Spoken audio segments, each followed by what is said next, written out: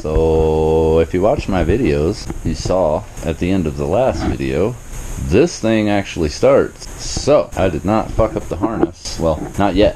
So the plan for today is to finalize all the wiring, get everything tucked and taped and secured. And oh, and then I need to run the wires as well for the blinkers and the headlights and tail lights, which I'll put in later. So I'm going to try and get all that done today. Then the only thing left to do would be to make some sort of dash panel for all the switches.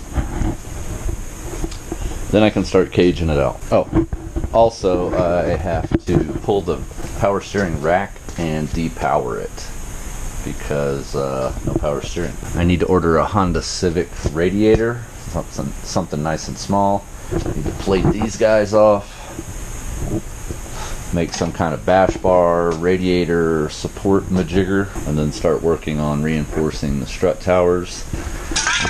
I think I'm going to make these adjustable somehow for camber, but I don't even know if... No, that doesn't adjust camber. Hmm. That's why there's no adjustable camber top hats for Miatas. Camber's probably going to be done with either extending the lower arm or shortening the upper. I'll have to Google it. Alright, wiring is done. All shortened, ready to be pinned to the firewall. I gotta run the lights. ABS light went off, so I didn't fuck up the ABS. Alright.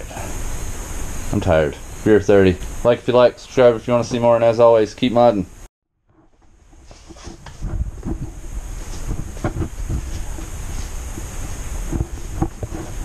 I can't feel you farting in the bed at night. Oh Lord.